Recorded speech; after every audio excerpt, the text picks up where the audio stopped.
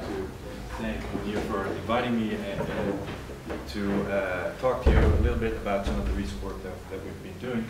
Um, so uh, in the previous talk, uh, Professor Antonelli told us something about how difficult it is to do quantum mechanics. Um, in fact, uh, the, the, specific problem he was talking about was quantum mechanics of electrons.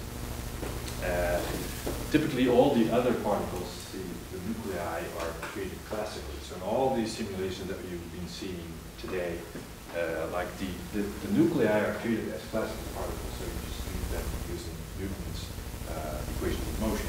But there are systems in which you're, you cannot do that. You cannot do that. Uh, even the nuclei have to be treated uh, quantum mechanically. And um, so specifically, I'm going to talk about a, a problem which, in which that's the case, uh, and these are so-called quantum crystals. In a minute, I'll, I'll, I'll uh, uh, say a little bit more about what that is. And specifically, what we do is uh, try to learn something about fundamental mechanical behavior of uh, quantum crystals.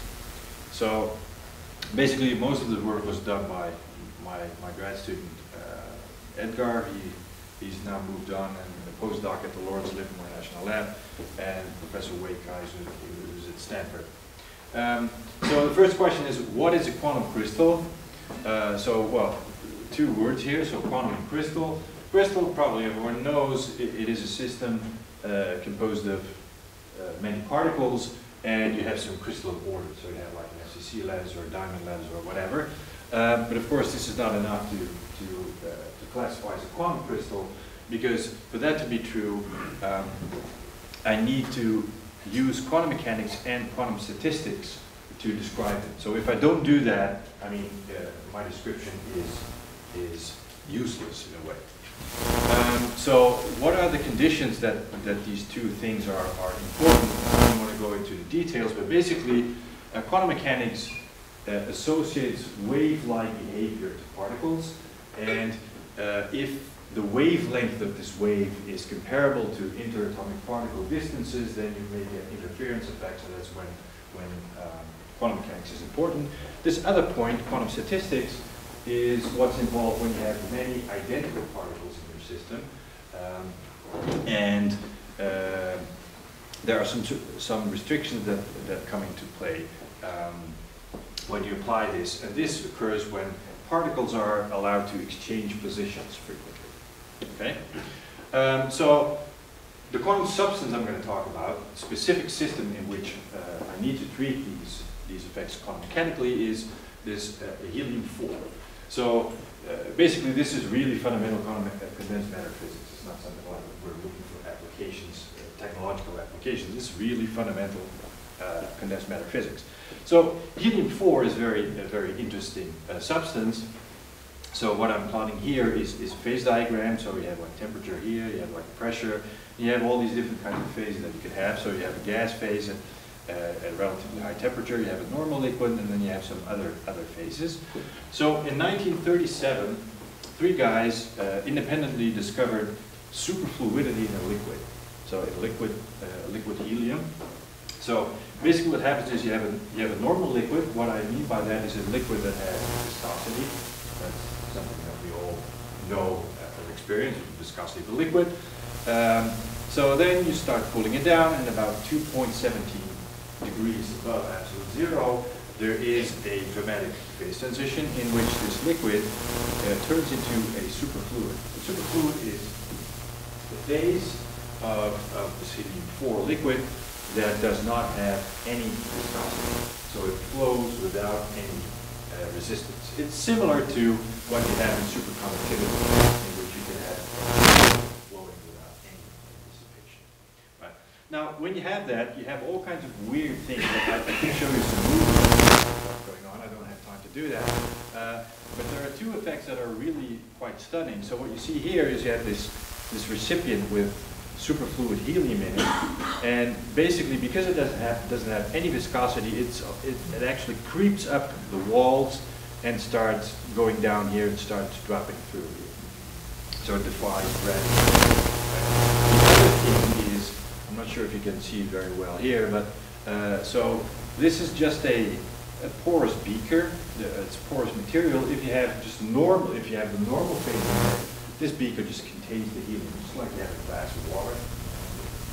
The glass will contain, uh, the water will, will be able to hold the water. Now, if you cool it through this transition, that becomes super fluid, it just starts leaking through. So it is as, as if you had a glass of water and your water starts leaking through the glass. So those, are two very interesting and spectacular uh, phenomena of quantum mechanics on a macroscopic scale. Right? Now, uh, as you can see, this phase diagram all, has all kinds of different phases. So I just talked about a liquid, and this is the superfluid phase. Now, if you start pressuring this thing, so you apply pressure, it eventually becomes a solid. Right? And uh, there was a question, well, could there be something like a superfluid solid, which is kind of a strange, strange concept if you think about it. Well, um, in 2004, these two guys uh, presented experiments in which that were interpreted as having superfluidity in a crystal. So what? So how should I think of that? What is that? I mean, superfluidity. Uh, so this thing. So basically, the experiments that they did was you take a piece of solid and you do an experiment in which you do rotations and what you measure is the frequency of oscillation as a function of the temperature, right? Now, they saw some, some sudden drop in the period in which they interpreted as if you have this rotation going on, the atoms are vibrating or are rotating along with the vibration, but when it becomes superfluid, atoms will be able to, say, decouple from the rotation, right? So this, let's see, shoot, this cartoon can play this again so this is just an ordinary solid. Um, you see these atoms, they are basically rotating and vibrating along with this thing. Right now, when it becomes superfluid, that's at least is the idea, you could have, say, atoms that just no longer go along with this vibration, and that's something you would measure in terms of the, of the vibrational period. Right? So this, of course, was a big thing to a Nature and Science paper in 2004. And then uh, the years after that, lots and lots of experiments to try to, uh, to rationalize all this. Um, now, unfortunately, in 2012, the same two guys, or well, it was the same Chan and a different Kim. Um, they basically, they opened the door to this super solidity story and they also closed it down because basically they found out that the experiment, what they were observing in their experiments was elastic behavior, elasticity of, of solid helium. Right? So what they were observing was really mechanical behavior. And that's um, uh, why many people are, are very interested now in the specific mechanical behavior of, of solid helium. Now, um, so when I talk about mechanical behavior, typically I talk about elastic properties. So you have a solid, you just deform it a little bit. When you take away the force, it will go back to what it was originally. Or you can also talk about plasticity properties, which is uh, you just pull it a little bit harder, and when you remove the forces, the strains will not go away. It's just like taking a fork, and if you just bend it hard enough, it will not go back again. So that's plastic, plastic behavior. Uh, and there's lots of sophisticated experiments on this, uh, both in terms of elastic properties and plastic properties. Now, the problem with this is um, they all need to be interpreted. There's no way you can actually really observe what's going on within the system. So there are no TEMs from solid helium 4, right? So everything needs to be interpreted and you have to make assumptions on to uh, interpret your data. So we would like to have atomistic level information, and that's really not accessible experimentally in this case. Uh, and that's where atomistic modeling, all these stories you've heard this morning, are, uh, are actually uh, very helpful. Now, so what we need to do here is we need to do atomistic modeling, and we're looking at finite temperature helium-4. And we cannot do uh, MD, we cannot use DFT here. So the nuclei, the helium-4 atoms have to be treated quantum mechanically. And uh, the method to do that is, is called path integral Monte Carlo. Um, So essentially, uh, lots of details. So effectively what we do is we use Feynman's uh, formulation of quantum mechanics at finite temperature. Um, essentially you have a path integral representation of a thermal density matrix.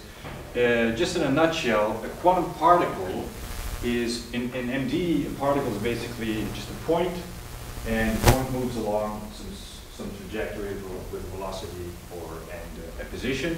Now, a quantum particle is actually represented by something like a closed polymer. So this thing uh, is an extended object, which basically translates the fact that in quantum mechanics, uh, the position is uncertain and momentum is uncertain as well.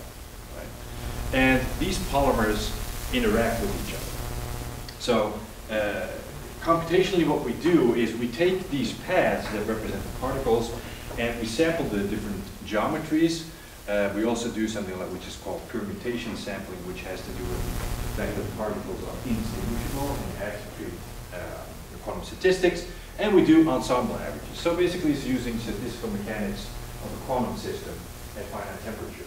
And uh, what we want to do here is use this kind of approach to learn something about mechanics, right? Because, uh, as I mentioned before, mechanics is, is an interesting property of the system. So Specifically, what are we looking at? We look at something which is called ideal strength of, of HCP helium-4. HCP is this crystalline phase that you reach when you, from superfluid you, you apply pressure and it becomes a crystal. So what is this ideal strength? Uh, it is a theoretical upper limit to the stress that a defect-free crystal, so you have a, a, a, a crystal without any defects, uh, that can withstand before uh, for a given loading mode. Uh, of course, it's an idealized concept because real crystals always contain defects, vacancies, dislocations, and whatnot. So in principle, uh, the real ideal strength limit is really an upper limit. A real crystal will yield before. Uh, but still, it is useful because it, it is an intrinsic material property. And also, it is a concept that's actually used in something like theory of fracture and homogeneous uh, defect nucleation. So uh, effectively, what, what are we trying to do here is I just take a piece of material, a piece of my, my, uh, my helium-4 HCP phase, uh, so this, this block of material like I represented, and what I want to do is look something like, uh, like, a, like a stress strain curve. So initially I have, there's no strain, there's no deformation. Um, then I start applying a small, a small deformation, which will bring me to a linear portion of this stress strain curve, which is just a linear elastic regime. Uh, which means that if I would remove any stress, the system would just go back to what it was originally. Then I just increase it a little bit more. So I'm going to walk along this curve, and at some point it's, it's it starts to bend off. Uh, still, it is elastic, but it's now non-linear elastic. So if you remove the stress, it will still move back. It will go back to the original state. Now, if I deform it a little bit more, at some point, the material will give. It will no longer be able to withstand the stress, and that's our ideal strength limit, which will give us the rupture, right? So, uh, well, these are some simulation details which are not very relevant. So actually, uh, some of the simulations this morning talk about millions of atoms. Now, if we can do something like 720, it's already uh, an enormous amount of computational effort. Uh, and we look at uh, something like temperature like 0.13 uh, Kelvin. Um, there is actually open source code that's available to do this. These are some other details concerning the model. Uh, so basically this, uh, uh, the model that actually describes the interaction between helium-4 atoms is this Aziz 95 model, which is a purely two-body interaction, which was computed with the with these high accuracy quantum chem uh, chemistry methods that are available nowadays. So um, this graph shows a typical result of a simulation that we do. So on the horizontal axis is the strain that I apply, so I just have a piece of material, start to deform it, and what I measure on the, on the vertical axis is the stress in the system, right? Now you can imagine if I apply like a strain like this, there is a stress moving back like that, and I can also have this other component on, on the different direction. So the red and blue curves measure these two stresses. So the red curve is the stress along the direction in which I do the deformation, and the blue uh, is the stress which is perpendicular to that. So initially, so the curve that I see here is very, very much similar to what I had in this cartoon. So small strains, I have this like linear kind of behavior, it starts to bend off, and then all of a sudden, boom, it drops down. So at this point, something is going on here. Uh, this is the limit of, uh, of, of rupture that I was mentioning. Interestingly, what you see is this other component was zero all the, along the way, and then all of a sudden at the rupture, something is developing there. So, of course, the question is, what's going on here? Uh, so uh, then we actually look at these, structures that we. So polymers that represent our, our the system, and effectively, uh, what's going on is, uh, if I look at the initial state here, which is perfect crystal, uh, if you look at the, this specific HCP structure, it's like a stacking of layers of A, B, A, B, A, B, right? And uh, that's exactly the structure they have, uh, have in, in the beginning. These C, the red ones here, the C stacking, is not occupied in this HCP structure, right? Now, what's going on after the rupture is two planes actually have shifted relative to each other, and this, this B sequence actually went to this uh, unoccupied C stacking position which means that locally our HCP went to a different crystal structure, which is called FCC. And so what actually occurred here, this is, of course, this is a defect in the structure, and this is called a stacking fault. It's a fault in the stacking sequence of the crystal, and this thing uh, occurred by nucleation of such, such a so in terms of qualitative, in qualitative terms, we know what's going on. It's stacking fault nucleation. And this is actually not very different from what we have in classical crystals. Classical crystals are crystals in which you can treat the nuclei uh, classically just using antiquity. Now, next thing to do is how to quantify this, right? Uh, so again, we look at the same plot. Uh, so I can measure something which is something like a critical stress, what's the value here? It's like 7 bar or something, 7 point something. And the other, so which is called critical stress. And this is something like a critical strain, which we call uh, the shear ability. Um, of course, what I'm doing is I'm applying like a shear strain in the plane. And in this case, I applied it along a certain direction, but you can imagine if I just change the direction of the applied shear, right? Is there an isotope? Are there one direction, say, uh, harder or harder to move than another one. Right?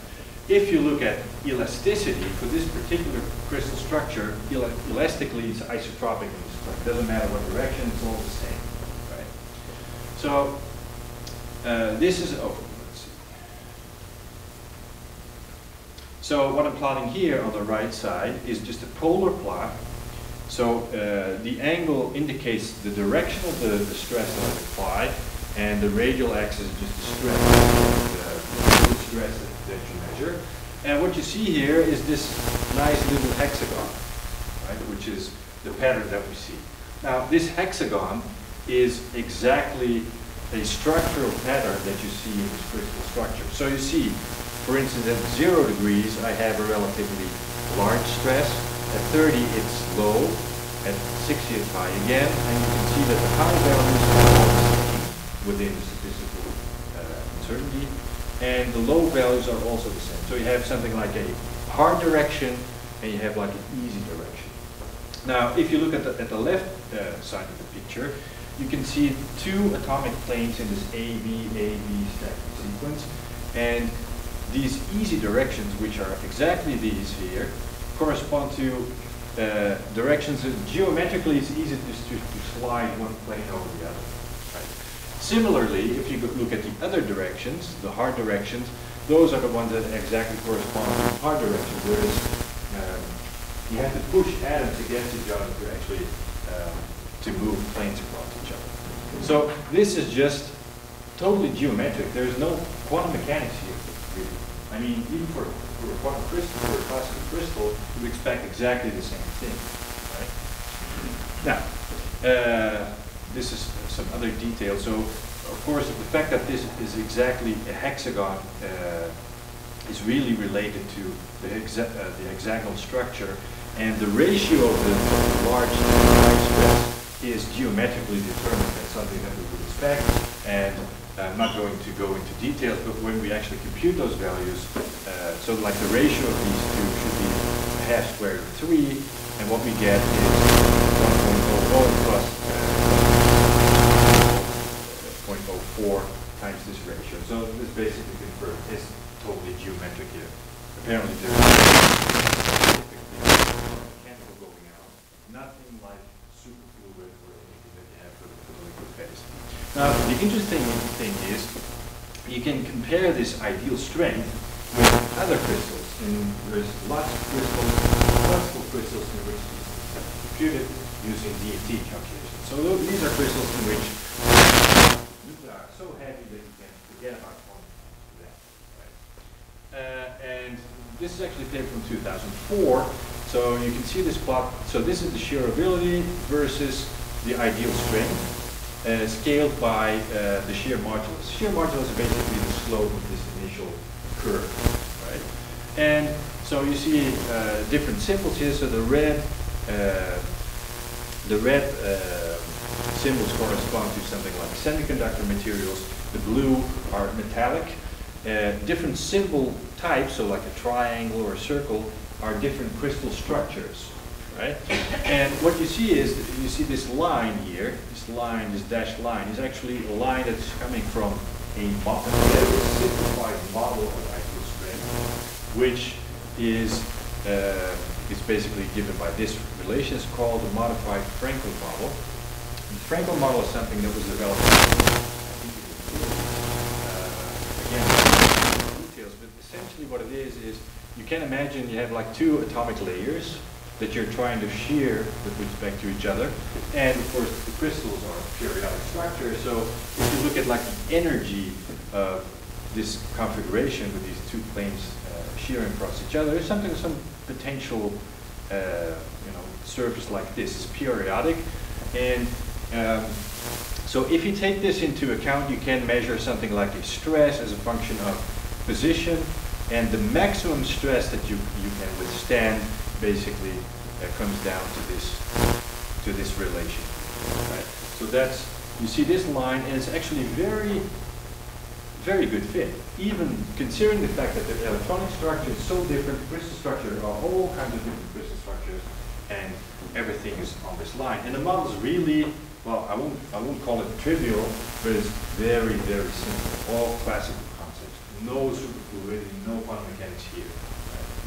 So the question is, where is the helium in this plot, right? So we do the calculation, and it's right there. Right? So it's on the lower end of this curve. Uh, this is a quantum crystal, so you cannot do anything like MD here or anything like it. And the conclusion here is that low temperature helium-4, which is just, just above the superfluid liquid phase in the phase diagram, it fits the universal behavior of classical solids. So that's actually a very surprising uh, conclusion, uh, not at all expected.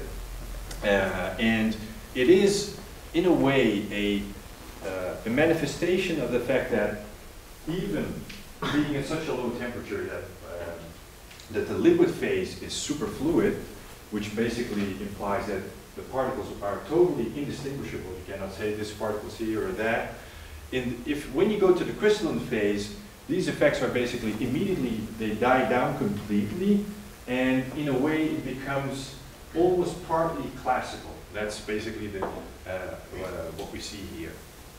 Um, so that's basically the, the, short story I wanted to, to talk to you about. So, uh, um, so these path integral Monte Carlo simulations are a very powerful tool for the mechanics of quantum solids, not only for mechanics, but other properties well. So we're just using these, we're continuing to use these for, to look at other uh, mechanical elements in this system, in, in, in, uh, including uh, defects such, such, as dislocations and impurities.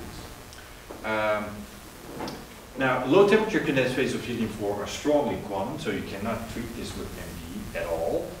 Uh, and yet, if you look at the ideal strength of, of HCP uh, helium-4. It's very classical in the sense that the anisotropy is purely geometric. It's something that I would expect for any classical uh, crystal in the HCP phase. And also, it fits very well this universal scaling behavior of, uh, of classical crystals.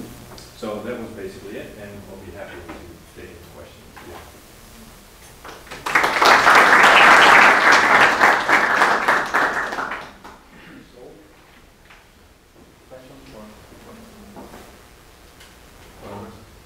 Can I take it that uh, uh, when the material is still in superfluid, and then the apply pressure basically constrains all the uh, material to move, so therefore become regular. Is that?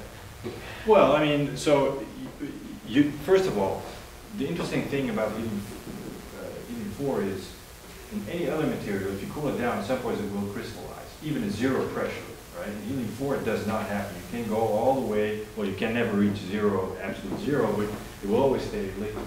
So the quantum effect is there, so you need to apply pressure, and at some point then the helium, the HCP phase becomes lower in free energy, so then it's crystallized, crystallized, right? Um, But once all these atoms are basically located at their crystal positions, they no longer exchange, right? That's something that happens in the, in the liquid and does not happen in the crystal.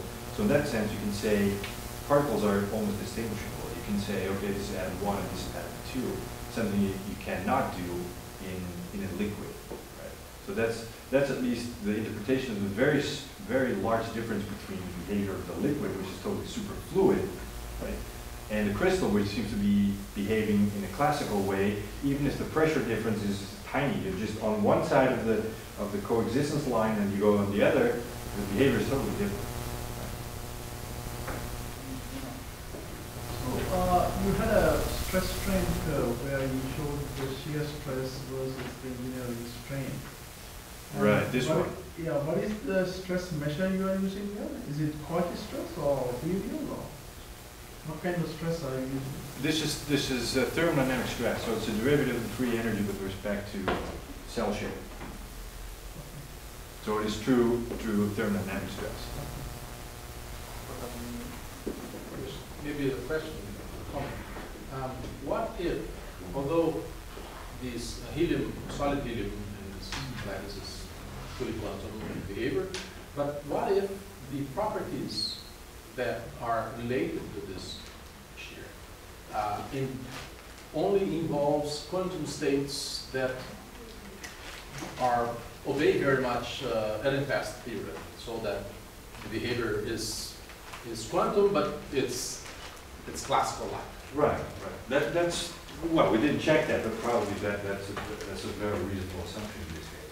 Because really, exchange is not relevant, basically. That, that's what this result tells us. Right. So probably that would be a, a reasonable approximation, just use the right? Uh, I have, my question is probably arising from my ignorance about the, the, the theory, but uh, uh, when we represent each atom as a polymer, with this representation, you can actually represent the non-locality of the atoms along the whole crystal structure, or you retain some kind of locality? Okay, so. Could you represent superfluidity, for Yes, example? yes. So, I so I forgot to mention, of course, this, this computational approach actually can simulate the liquid superfluid phase. So essentially, what happens if the liquid becomes superfluid, these polymers, uh, you can, you can open them and you can start joining them in permutation cycles. So if, for instance, if you can do a very simple calculation of, say, you have a harmonic trap with, with with bosons in it, uh, each particle is represented by a polymer, but you can start having these permutation cycles, which means that you can have, say, a hundred particles that are represented by a single closed polymer, which is much longer than a single particle. And that could happen, uh, could happen spontaneously? Yes, it does, it does, it does. Because that's why you have to do permutation sampling. Uh, When you are at the condition when this, when this happens, these permutations starts to be, start to be accepted, and this, you know, the- the, the length of these polymers starts growing in your system. So that we have a collective sort of. Yes, so you have like a group of, of particles, atoms, that is represented by a single polymer. So you don't, you don't really know what, which particle is which, because they all are part of a single large polymer. right? in that case, I have the impression that uh, you are observing uh, a phenomenon which seems quite classical because the atoms are somewhat localized in their wells of In their- crystalline Right. periodic. Right. So, but actually, when we on, I, I think of the of in a stress strain curve that's performed with real polymers because I'm a chemist, I have done that in the lab. Right, right. So one thing that happens is that when you reach the the the breaking point, the what's the name? The ideal strength limit. the, the straight line, i- the, the polymer flows. The, the polymers start to flow one over the other because the, the, the chains become aligned. I, if, if in your case, you have a, you had a pulling velocity out of equilibrium, you could start to see uh, a faster uh, uh, sliding of the, of the, of the crystalline uh, layers one over each other, and, and, and then each atom would feel an average potential of the of the of the vicinal layers, and then probably quantum effects would be would be more interesting. Well, I mean, I, I'm not saying that quantum effects are not here. I mean, the quantum effects are certainly here in terms of zero motion. I mean, the particles are delocalized in very much, right? So implicitly, quantum mechanics is there. I mean, the, the main difference, the spectacular difference with the liquid phase is that this, these exchange cycles are absent, which give rise to superfluidity. So, uh, I think, it- I mean, the simulation, this, this, uh, bending particle approach, you map the, the quantum problem onto a classical problem of polymer. So it is, certainly it is uh, similar to what, what you may have in polymer, but these polymers are closed, right? So I guess what's doing real polymer is long chains that are tangled. So in that sense, it is different. Another thing that I'd like to emphasize, there's no time. So what I do is, there is no time. I mean, I'm not doing quantum dynamics. What I'm doing is, I'm sampling from a, a quantum statistical ensemble and quasi-statically deforming it, right? So it- it- there is no time. You pushing an equilibrium. Right, well, it's not, I mean, we're doing it at, at a finite rate, there's no real temperature, but, I mean, we, we slowly, you know, just change the box shape. The system is allowed to, to adjust to that, but we have to do it in finite time, because otherwise we'll never ever get to the, you know, to this, to this level. But probably the quantum dynamics of that. Okay, quantum dynamics, I mean, this is all very hard, quantum dynamics are not even going, going into that, right? Quantum dynamics is really hard problem. What's the influence of temperature? I'm sorry? Temperature. Oh, temperature. Yeah. Have you studied how the uh, temperature affects the uh, stress strain curve and? and- Yes, so let, let's, so I, I think I even have a plot here at the end of the, end of the presentation, which I didn't, which I didn't show. Let's see where it is. So here, so this is a plot of the shear ability, so that's this, the strain that you can reach, um, as a function of temperature. So at some, uh, of course, we are uh, low temperature, below 0.5 Kelvin. Uh, basically, um, it is always a competition between, th- there are still thermal fluctuations, but we're trying to go to a low temperature in which these are as small as possible. So here we have a plot of shear ability as a function of temperature. So what you see is, for high temperature, 2 Kelvin is high temperature in our system. So you see the shear ability, oh, shear ability goes down, right? So you have more thermal fluctuations. It will become easier for this thing to start to start shearing. And you go to lower temperature, and you see around 0.5. I mean, within the error bars, we, we, can no longer distinguish that they're different. So at this range, that's the one that I was talking about now. Uh, we say thermal fluctuations are relatively important. What we're seeing here is really intrinsic quantum behavior.